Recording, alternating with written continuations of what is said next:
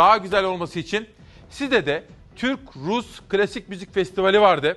Bakın Ahmet Barut, Barut ailesi kültüre sanata destek oluyorlar. Kültür ve Turizm Bakanlığı ile birlikte. Ve orada dünya çapındaki bir maestro vardı Kadir Dursun.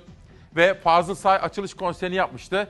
Bay Vladimir de dün kapanış konserini yaptı. Dün değil, cumartesi günü. Şimdi şöyle bir gidelim ve Side'de Türk-Rus Klasik Müzik Festivali vardı efendim.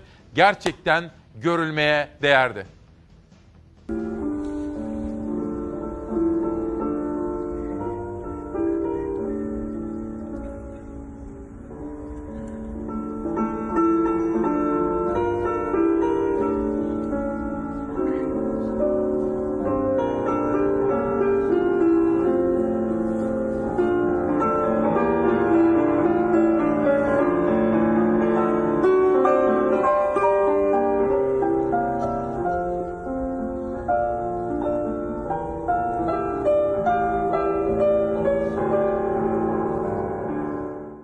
İstiyorum ki haberleri konuşurken kültür, sanat, edebiyat, estetik değerler eksik olmasın hayatımızdan istiyorum. Hayatı birazcık böyle güzel